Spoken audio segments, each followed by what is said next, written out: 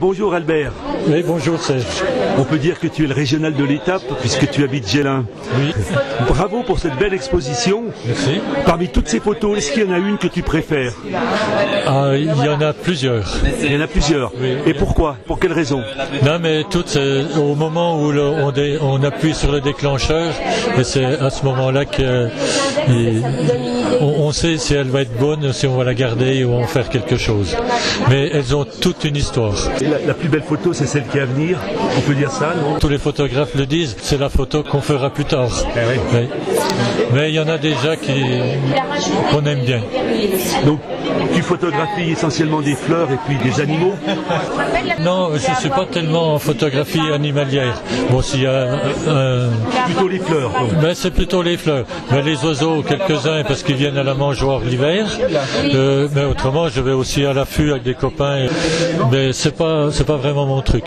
Par contre, les fleurs, euh, C'est une véritable passion. euh, oui, mais ça a toujours été. Et, et la photo et la botanique.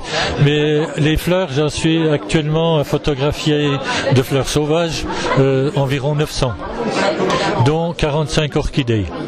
Mais je n'ai pas fini parce que je cherche toujours deux orchidées, une en forêt et une dans les marais. Mais c'est des, des fleurs qui sont minuscules, donc euh, c'est le but de les trouver. Est-ce que tu as trouvé des spécimens rares euh, ou inconnus Est-ce que ça t'est arrivé Oui, euh, j'en ai une qui est affichée d'ailleurs là- là-bas au fond, euh, qui est la renoncule des glaciers. Moi, je l'ai trouvée à 2700 mètres d'altitude, mais c'est une fleur qui qui a qui bat le record de floraison en altitude, puisqu'on l'a dû trouver jusqu'à 4200 mètres. Et autrement, en fleurs rares, on en a une euh, qui est à Gelin. Donc ça, c'est une découverte que j'ai fait il y a environ une dizaine d'années. Elle est d'ailleurs inscrite au registre de botanique euh, sous mon nom, et c'est l'iris de Sibérie.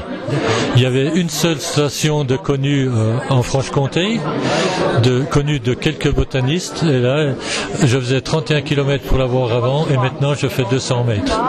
C'est une merveille. Est-ce que tu te fais aider des fois par des spécialistes pour quand je veux dire, il y a des difficultés de détermination? Euh, oui, euh, oui, ça arrive. D'ailleurs, je fais partie de la Société d'histoire naturelle de Pontarlier, où là, on a des, des mycologues, des botanistes.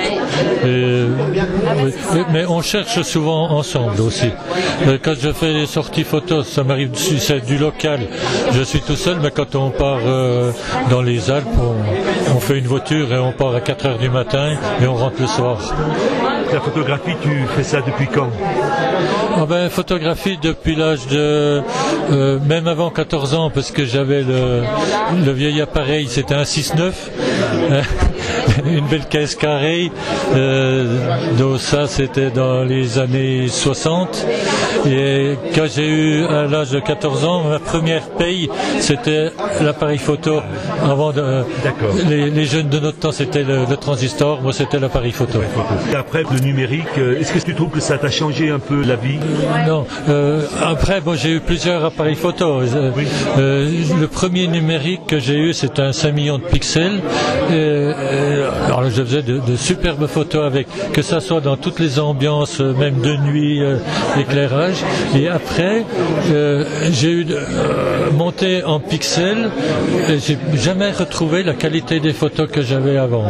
En argentique ah ouais. Euh, en, en numérique. En numérique, oui. Après, pour avoir euh, un rendu en numérique, bon, c'est vrai que maintenant ils ont fait des progrès euh, au niveau téléphone, mais nous, les boîtiers qu'on a, euh, il faut vraiment du haut de gamme. Pour faire ce genre de photo, faut être bien Oui, oui, oui, oui, parce que là, c'est du format 40-40, mais ces, formats-là, on pourrait les mettre en 2 mètres par 2 mètres, encore net. Après, euh, euh, j'ai eu aussi, euh, bien sûr, j'étais en argentique, j'avais également un, un réflexe. Mais, mais là, je faisais surtout du noir et blanc. Est-ce qu'il y a un moment dans la journée qui est plus propice pour faire des photos? Une photo en pleine journée, en plein midi, euh, surtout au mois de juin, c'est jamais bon. Euh, Il y a les lumières du soir qui sont un peu plus rasantes, c'est mieux. Et c'est sûr que beau- beaucoup beaucoup diront euh, l'idéal c'est le matin, mais moi je suis pas, je suis pas un lève tôt. je suis pas un lève Mais c'est vrai qu'avec la rosée du matin, c'est aussi super. Voilà. Et puis pour terminer, est-ce que tu aurais un conseil à donner à un débutant?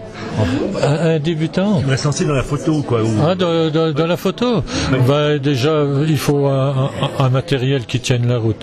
Et, et toutes les photos, puisque bon, il y a beaucoup de fleurs, c'est beaucoup en macro, euh, je travaille beaucoup sur pied.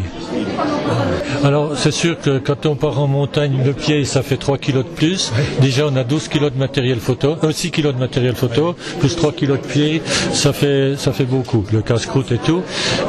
alors une combine pour faire de la macro, de la fleur, des petits trucs. Euh, j'ai pris une chaussette, des graines de tournesol dedans, ça me fait un petit sac et je pose ça sur le sac à dos et ça permet de l'orienter. Euh, ah ça va très bien. C'est pas lourd, ça tient pas de place dans le sac, assez efficace. Et, beaucoup, pour encore bouger moins, euh, j'utilise le retardateur. Ah, Et ça me permet de faire plusieurs photos euh, dans la même pose, le même cadrage, mais des vitesses différentes et ouvertures différentes. Eh ben c'est super, on va suivre tes conseils. Merci beaucoup. Merci. Et bonne journée.